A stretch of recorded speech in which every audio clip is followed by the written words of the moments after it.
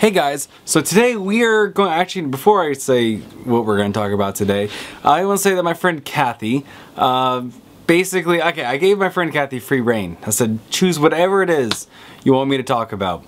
And I thought it would be something, you know, kind of PC. But no, what she sent me, she sends me, the first text message she sends me says midget porn.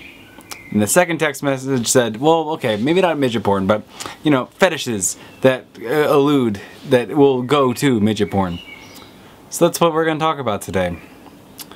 Yeah, fetishes. Okay, so after a quick Wikipedia search and just overall search, I found out there's a lot of different kinds of fetishes. Uh, fetishes usually um, the, the main things that fetishes center around are either going to be clothing or some form of rubber, which I find kind of interesting, or body parts slash feet and footwear. Like it's like kind of two categories with a with a kind of roundabout thing of. Um, uh, textures. So something like really cold and hard or something really soft like a cloth or something. So apparently those are kind of the main categories of fetishes, uh, but they branch out quite wildly from there.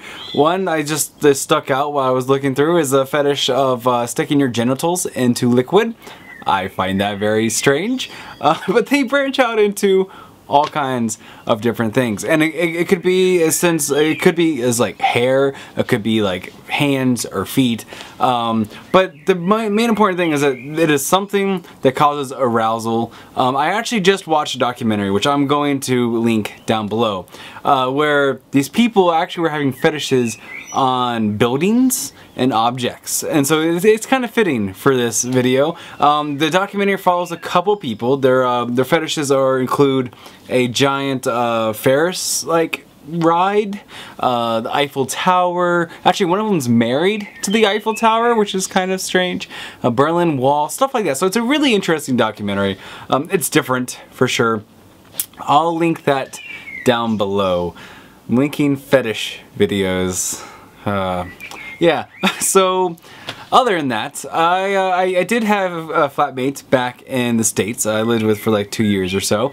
Um, he used to always jokingly say that I had a hair fetish. Now, I want to go on record, I don't have any kind of hair fetish or anything, but I do pay attention to hair a little bit more than I think most guys do. I think even though my hair is crap, I will admit, maybe that's why I like my beard so much, I don't know. But anyways, no, I don't have a fetish.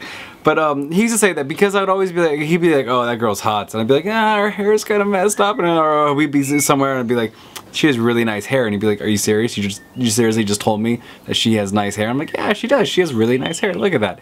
Yeah. I noticed it. And I think it's mainly because I was raised by two women for the most part. Uh, and I think that's kind of probably why I noticed some of those things. I noticed a lot of things like that. Um, but yeah, fetishes.